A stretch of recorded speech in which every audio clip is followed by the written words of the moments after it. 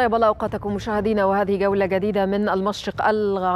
المشرق العربي. نسلط فيها الضوء على تصريحات مجلس الوزراء العراقي بخروج قوات التحالف من العراق. كما نتابع فيها آخر زيارة للمفوض العام لوكالة أونروا للبنان. وفي ساحل المشرق نتحدث عن صناعة قديمة. احياها سوريون مجددا صناعة الصابون التاريخيه أهلا بكم.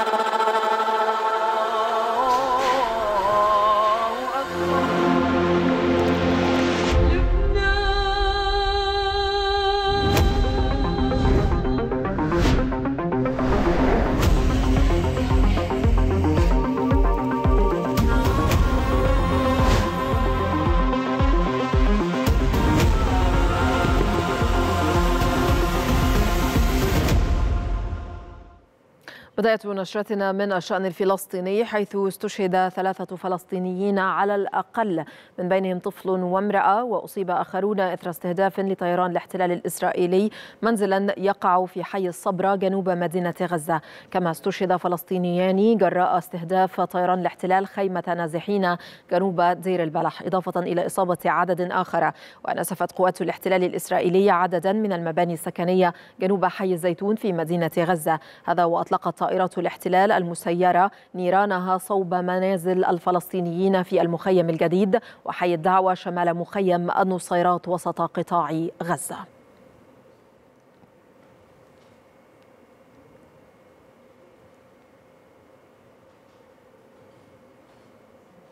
شدد الأمين العام للأمم المتحدة أنطونيو غوتيريش على أنه لا شيء يبرر العقاب الجماعي الذي تمارسه إسرائيل بحق سكان قطاع غزة. وأضاف غوتيريش أن سكان القطاع يعانون على نحو لا يمكن تصوره لافتا إلى أن مستوى الموت والدمار لم يشهد لهما مثيلا منذ أن تولى منصبه الحالي قبل سبع سنوات.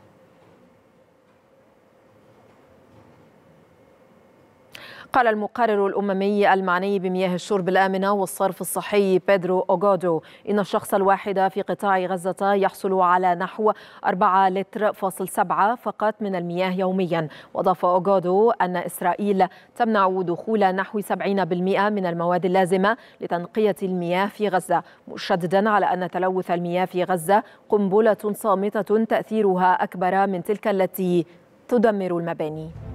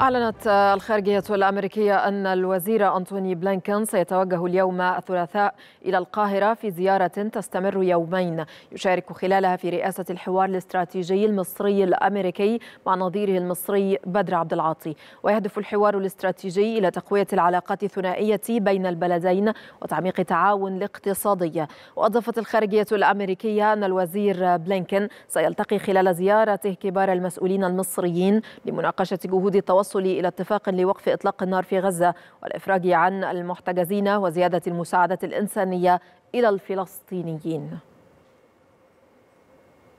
ننتقل الآن للشأن اللبناني حيث جدد الاحتلال الإسرائيلي قصف واستهداف عدة بلدات في الجنوب اللبناني. واستهدف الاحتلال أطراف بلدتي علم الشعب ويارين في القطاع الغربي بعدد من القذائف الهاون. جاء ذلك بالتزامن مع تحليق مكثف للطيران الحربي للاحتلال الإسرائيلي في أجواء شمال الأراضي المحتلة. دوت صفارات الإنذار في بلدة المنارة بالجليل الأعلى شمال الأراضي المحتلة بعد إطلاق صواريخ من جنوب لبنان حيث أفادت وسائل إعلام إسرائيلية بانفجار قذيفة صاروخية أطلقت من جنوب لبنان دون وقوع إصابات. من جانبه أعلن حزب الله اللبناني استهداف موقع العباد الإسرائيلي بصاروخ موجه مؤكدا أن الصاروخ أصاب الهدف الإسرائيلي بشكل مباشر. يزور المفوض العام لوكالة الأونروا فيليب لازاريني لبنان من أجل بحث سلسلة من القضايا التي تتعلق بعمل الوكالة في لبنان وهذا على ضوء استمرار العدوان الإسرائيلي على غزة والضفة ويبحث لازاريني حيادية الموظفين في الوكالة ويعقد سلسلة اجتماعات مع مسؤولين لبنانيين وفلسطينيين خلال زيارته القصيرة إلى لبنان. أطلق وزير الاقتصاد في حكومة تصريف الأعمال أمين سلام بالتعاون مع المدير الإقليمي لبرنامج الأغذية العالمي ماتي هولنغورث أول مؤشر لأسعار الشهري للسلع الغذائية في لبنان عن شهر يوليو الماضي. وأوضح سلام أن المشروع ضمن جهود الحكومة والجهات الدولية لتوفير أداة موحدة للمستهلكين لمراقبة تقلبات الأسعار والمساهمة في الحفاظ على الأمن الغذائي. ويهدف إلى تمكين المستهلكين من متابعة معدلات أسعار السلع الأساسية بشكل علمي ومنهجي ويوفر أيضا للوزارة أداة, أداة فعالة لمراقبة تقلبات الأسعار.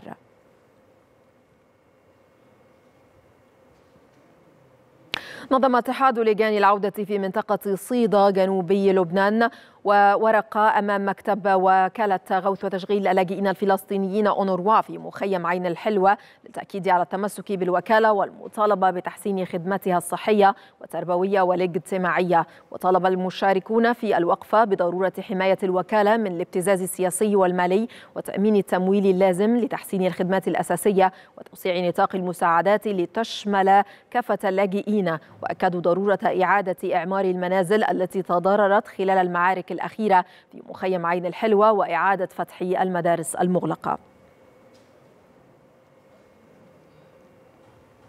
تحل هذه الأيام الذكرى الثانية والأربعين لمجزرة صبرة وشتيلة في لبنان والتي ارتكبتها ميليشيات مناوئة للفلسطينيين وتحت غطاء وحماية الاحتلال الإسرائيلي. وتتزامن الذكرى الحالية مع استمرار الإبادة الجماعية في غزة والتصعيد في الجنوب اللبناني.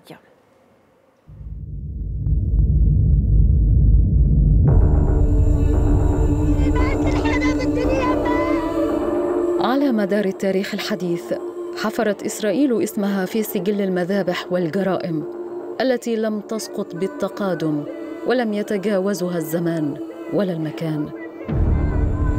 السادس عشر من سبتمبر عام 1982 يوم دام شهد مجزرة صنفت كواحدة من أبشع المذابح التي ارتكبها جيش الاحتلال الإسرائيلي وميليشيات داعمة له في مخيم صبرا وشتيلة للاجئين الفلسطينيين في لبنان.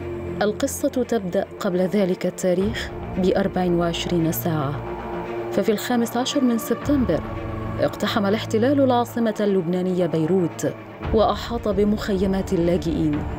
وفي اليوم الذي تلاه دخلت ميليشيات مناوئة للفلسطينيين مخيم صبرا وشاتيلا وراحت طائرات الاحتلال الإسرائيلي تلقي بالقنابل الضوئية لتنير عتمة المكان الآمن أمام أعين قتلة الأطفال والنساء والشيوخ. عمليات قتل استمرت ثلاثة أيام وخلفت أربعة آلاف شهيد وفقا للإحصاءات المعلنة. ورغم مرور أكثر من أربعة عقود على تاريخ المجزرة التي وقعت خلال محاصرة الجيش الإسرائيلي لبيروت. بعد اجتياحه لبنان عام 1982 لم يحاسب حتى اليوم أي شخص أمام القضاء اللبناني أو الدولي. المجزرة البشعة لم تكن الأولى وبالطبع ليست الأخيرة. فذكرها حاضرة في وقت ترتكب فيه آلة الحرب الإسرائيلية جريمة إبادة جماعية. تستهدف الأطفال والنساء والعجائز في قطاع غزة بدم بارد منذ قرابة عام كامل. وبالتوازي مع الحرب المستعرة في غزة تخوض إسرائيل مواجهات على جبهتها الشمالية مع حزب الله اللبناني وسط مخاوف من اتساع رقعة الصراع لحرب أوسع في لبنان بأسره ما قد يقوض الاستقرار والسلم في المنطقة.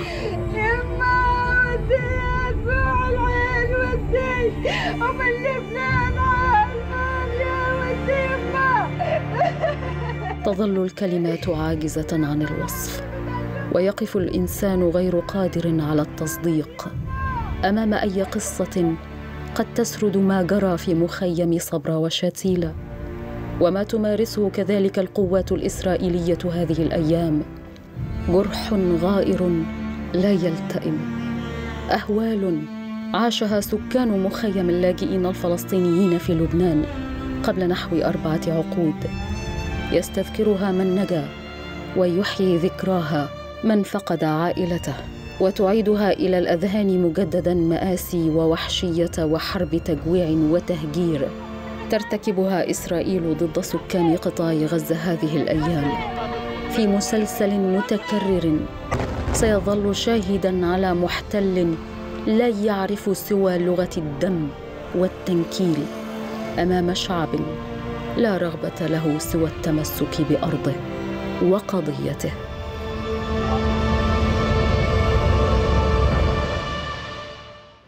إلى العراق حيث أكد رئيس مجلس الوزراء محمد شياع السوداني أن الإعلان عن موعد انتهاء مهمة التحالف الدولي في العراق سيكون قريبا. وأوضح السوداني أن العراق تحول تحول من تتحول من مرحلة الحروب إلى مرحلة الاستقرار.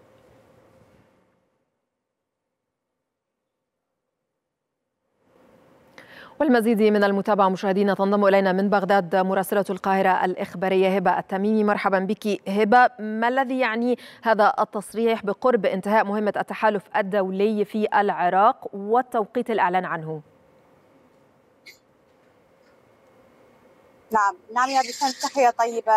التصريحات اليوم رئيس الوزراء محمد الشاه السوداني تصريحات صريحة وواضحة خصوصا في هذا الوقت الحساس الذي يمر به العراق خصوصا هنالك تعاون مشترك حصل في الأيام الماضية خصوصا بين التحالف الدولي بقيادة الولايات المتحدة الأمريكية خصوصا بعد الانزال الجوي الذي قامت به القوات الأمنية العراقية وكذلك القوات الأمريكية والتحالف الدولي الذي كان موجود في صحراء الأنبار عندما تم قتل أكثر وما يقارب 17 ارهابيا من بينهم قيادات بارزة في داعش. يعني كان كان هذا الاشتراك مع القوات التحالف الدولي والقوات الأمنية العراقية وكانت هذه الإنزال الجو وهذه العملية عملية ناجحة بكل تأكيد أشادت به جميع الصحف العالمية وحتى الوكالات الأجنبية. خارج العراق وكانت الصحف المحلية كانت عنوانها الرئيسي هو هذه العملية، نتحدث في هذا التوقيت أيضا في توقيت أيضا حساس خصوصا في حكومة السوداني. حكومة بصراحة بعض من الجهات لا تريد الخير للعراق ولا تريد أيضا الخير للحكومة العراقية خصوصا في ظل هذه الأوضاع الأمنية المستقرة في العراق في عموم العراق بغض النظر من بعض من المحافظات العراقية مثل صلاح الدين وكركوك ومثل ما أشرت صحراء الأنبار بها بعض مفلول داعش والقوات الأمنية وحتى بالتعاون مع التحالف الدولي تم السيطرة على يعني بعض مفلول داعش وأوكار. يتم أيضا استهداف أوكار لداعش. نتحدث عن التصريحات اليوم اللي رئيس الوزراء محمد الشاعر السوداني قال أن لا يوجد مبرر لإنهاء وجود التحالف الدولي والآن العراق 2024 ليس عراق 2014 يعني يقصد هنا أنه العراق آمن ومستقر وإن الإرهاب وخصوصا تنظيم داعش الإرهابي لا يشكل خطر على الدولة العراقية والعراق هو خصوصا من القوات الأمنية جاهزة لكل ما يفعله بعض من فلول داعش وأيضا بعض من الخروقات الأمنية التي تحصل وإنما هنا المسيطر الأساس هو القوات الأمنية. أيضا بالتوجيه من رئيس الوزراء محمد الشاعر السوداني قائد العام للقوات المسلحة. أيضا تحدث عن إنهاء موعد قريب للتحالف الدولي في العراق وستحول هذه العلاقات إلى علاقة ثنائية علاقة أمنية مستدامة. هنالك مباحثات كثيرة بين العراق والولايات المتحدة بخصوص محادثات عن الوضع الأمني والاقتصادي وحتى العلمي والثقافي. والاقتصادي وحتى السياسي تحدث أيضا عن موضوع سياسي آخر وهو أن العراق يحترم يعني يحترم الخيارات الشعب الأمريكي في في اختيار رئيسه وسنتعامل مع أي إدارة يقصد هنا أي إدارة تكون إذا كانت إدارة ترامب وحتى إذا كانت إدارة كاميلا هاريس. فبالتالي يعني المرشحين الأساسيين أكيد للشعب الأمريكي والولايات المتحدة نعم. الأمريكية. فبالتالي قال إنها نحن أيضا العراق مستعد في في المؤتمر الدولي للتحالف ضد داعش وسيكون هنالك أيضا تقارير بخصوص ما يعيشه العراق من من هذا التنظيم. وأيضا تحدث على الكثير من الأمور وخصوصا أنهم العلاقات لن تنتهي وضحت مع الفكرة. المتحدة عذرا هبة عذرا لضيق الوقت. أشكرك شكرا جزيلا من بغداد مراسلة القاهرة الإخبارية هبة التميمي. شكرا جزيلا على كل هذه المعلومات. في شأن آخر أشار رئيس مجلس الوزراء العراقي محمد شياع السوداني إلى أهمية استمرار عمل صندوق العراق للتنمية وفق الرؤية المخطط لها وبما يواكب توقعات المؤسسات المالية العالمية من أجل استقطاب المستثمرين من داخل وخارج العراق. وخلال اجتماع السوداني مع مجلس إدارة الصندوق أوضح أن مشاريع السكن وبناء المدارس في طريقها للتنفيذ مؤكدا وجوب العمل وفق النهج الجديد الذي تسعى الحكومة لتنفيذه والمتمثل بشراء الخدمات من المستثمرين بدلا من أن تتولى الدولة التنفيذ.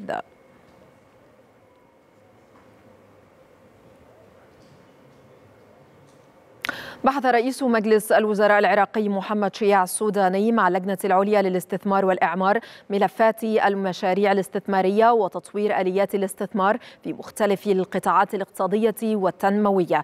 ووجه السوداني بضرورة اتخاذ القرارات المتطابقة مع منهج الإصلاح الاقتصادي الذي يمثل إحدى أولويات الحكومة والمضي بخطط الحكومة في تنفيذ المشاريع الاستراتيجية والتنموية خاصة في قطاع السكن.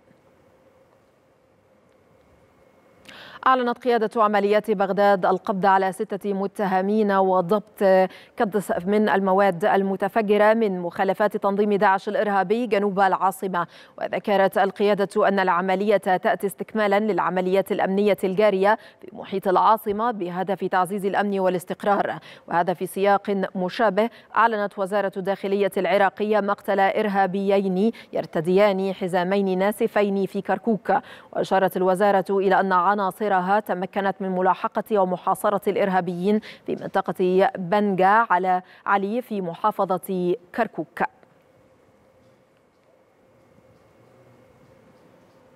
أعلنت وزارة التخطيط العراقية عن تشكيل لجان خاصة بمعالجة المشاريع المتلكئة قال المتحدث باسم الوزارة عبد الزهرة الهنداوي قال إن العمل المتواصل لمعالجة مشاكل المشاريع المتلكئة في عموم العراق. من خلال اللجان المشكلة في وزارة التخطيط وأضاف أن نحو 2610 مشاريع كانت متلكئة تمت معالجة مشاكل البعض منها والأخرى في طور التنفيذ.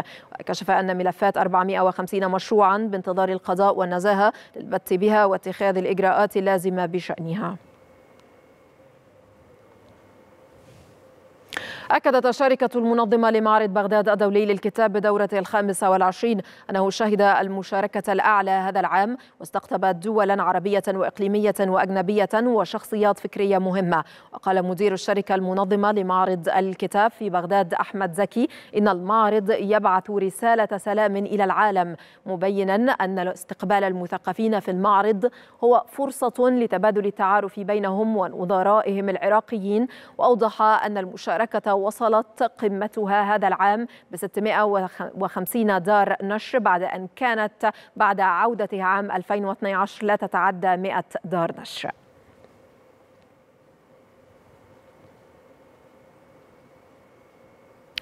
أفاد مراسل القاهرة الإخبارية بأن رئيس مجلس النواب اللبناني نبيه التقي بري فيليب لازاريني المفوض العام للأونروا في قصر عين التينة. اللقاء تناول الأوضاع وتطورات الأوضاع الإنسانية في لبنان وكذلك آليات تحسين خدمة الوكالة المقدمة لموظفي الإغاثة.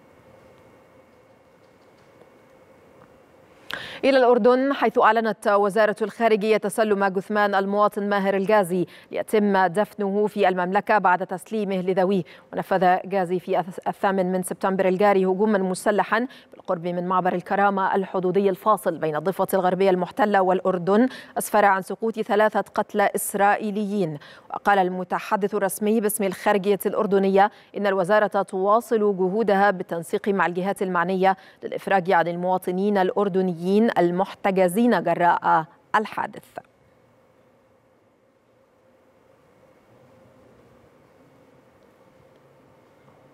وزع طواقم المستشفى الميداني الأردني شمال غزة مساعدات غذائية نفذتها القوات المسلحة بالتعاون مع الهيئة الخيرية الهاشمية للأهل في شمال قطاع غزة. وقال قائد قوة المستشفى إنه تم تجهيز 300 طرد خيري تضمنت مواد غذائية ليتم توزيعها على الأهل في شمال قطاع غزة لمساندتهم والتخفيف عنهم في ظل الظروف الصعبة التي يمر بها القطاع مضيفا أن قرابة 1500 فلسطيني سيستفيدون من الطرود العروض التي قدمتها إدارة المستشفى الميداني الأردني.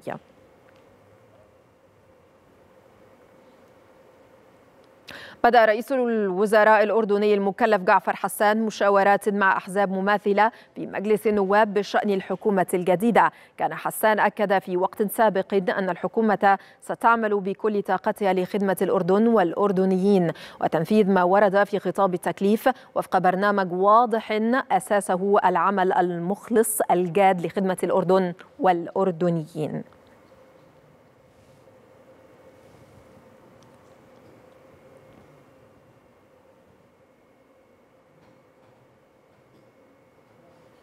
وإلى سوريا حيث استقبل الرئيس بشار الأسد سكرتير مجلس أمن الاتحاد الروسي سيرجي شويغو. وبحث الأسد مع شويغو مجموعة من الملفات ذات الصلة بالأمن الدولي والإقليمي. وكذلك العلاقات الثنائية بين سوريا وروسيا وأفاق تعزيزها خدمة لمصلحة البلدين.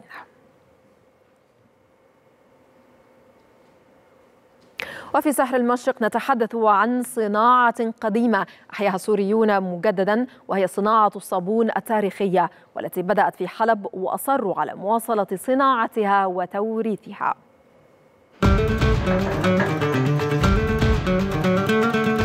يحافظ صانع صابون سوريون على إرث عمره قرون إذ ينتجون قطع الصابون التي يعتبرها كثيرون من عبق حلب وتراثها وذلك بعد أن توقفت هذه الصناعة الأصيلة بسبب التوترات التي شهدتها سوريا في السنوات الأخيرة. ومع عودة الحياة لطبيعتها من جديد في مدينة حلب عادت معها الروح لمصانع الصابون التقليدية التي يعود بعضها للقرن الثامن الميلادي.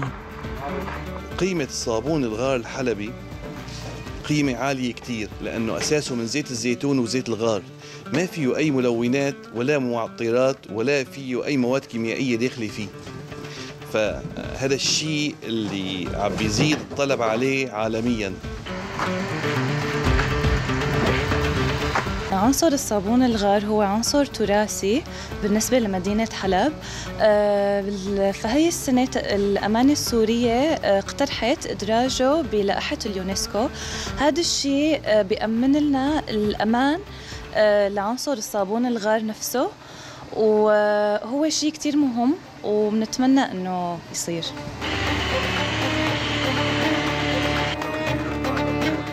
وقد واجهت هذه الصناعة عقبات أبرزها عدم القدرة على الوصول إلى المواد الخام إذ إنه يتم تصنيع قطعة الصابون الطبيعية بالكامل من زيتي الزيتون والغار ما يمنحها رائحة مميزة وقد انخفض عدد الشركات المصنعة للصابون في حلب من 120 إلى 20 فقط لكن لا زال الناس يتوقون لهذا النوع من الصابون الذي يعد من علامات المدينة التاريخية. الصحية